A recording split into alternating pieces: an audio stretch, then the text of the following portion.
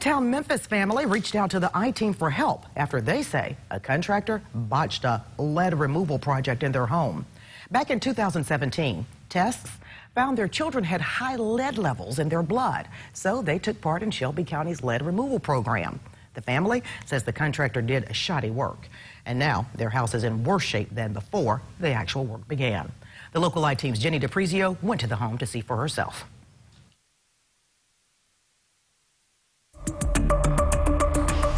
I should have said, no, I don't want your help, you know, um, because they've ruined our house. Michael and Ray Armstrong are frustrated about what's happened to their house. I mean, I wish we could, they could just put it back the way it was, you know? In 2017, the Armstrongs signed up for Shelby County's lead paint removal program, hoping to make their home safer for their children. The county hired contractor began working on the home more than two years ago, and to this day, the project isn't complete. Right now, everything is still the way it's been. Uh, You know, it hasn't changed um, since they left. The Armstrongs say every one of the 12 windows the contractor replaced is the wrong size and they can't open any of them. This window was four inches too short, so the contractor had to rig it to fit.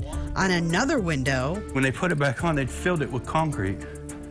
And there's just big holes on both sides. From the outside, you can see none of these windows were ever painted, but there's some things that weren't supposed to be painted that were. It was a stained door that they painted white for whatever reason. During the lead paint removal process, rooms are supposed to be sealed to prevent toxic dust from spreading. But the Armstrongs say this is how the contractor did it at their house. Cell phone pictures showing gaping holes in protective plastic allow dust from the scraped paint to blow through the house. This is what was done to protect clothes, according to the Armstrongs.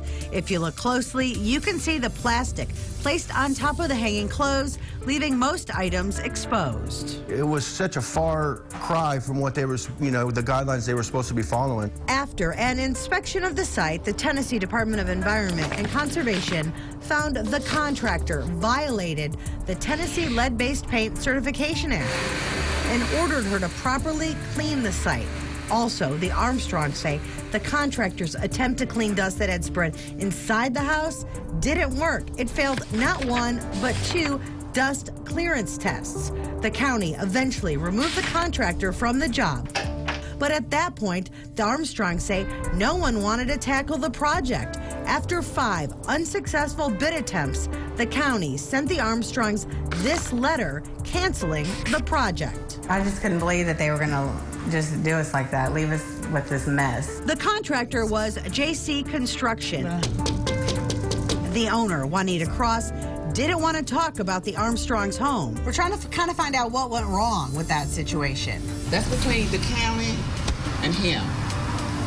Get all the information from the county. He basically claims that the house is in worse shape now than when you went there. I'm not gonna say, like I said, I'm not gonna say anything. I'm gonna leave it up to the county. Okay. Did you do a thorough job at the house?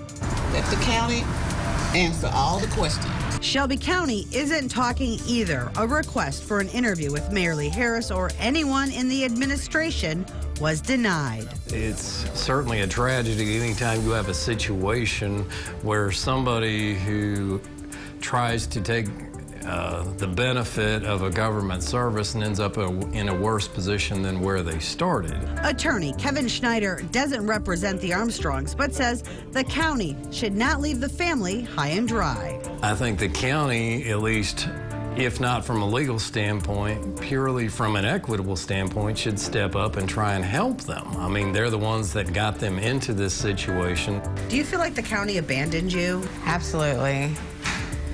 Just hung us out to dry. Now, the Armstrongs say the only good news in all of this, their children's lead levels have come down. Wow, this sounds like a mess. Yeah, you know, it really is. You know, lead in local homes is a concern. To put this in perspective, nearly 200,000 homes in Shelby County were built before 1978 and could contain lead paint. And lead paint, as you may know, cause, can cause health problems, especially in young children. Well, Jenny, where are the majority of these homes actually located? Well, if you think about it, think of the older parts of the city, areas built before 1978. But check this out there are less than 10 certified contractors who remove lead paint from residential houses in uh, Shelby County, I found out. Now, last fall, the city of Memphis received a $5 million grant to remove lead paint from homes. So, what does this mean for all the folks who need lead paint removed from their homes? How does the city plan to fill in the gap? If you go to by story on localmemphis.com. You'll see. And we know you'll stay on top of this. Thank you, Jenny.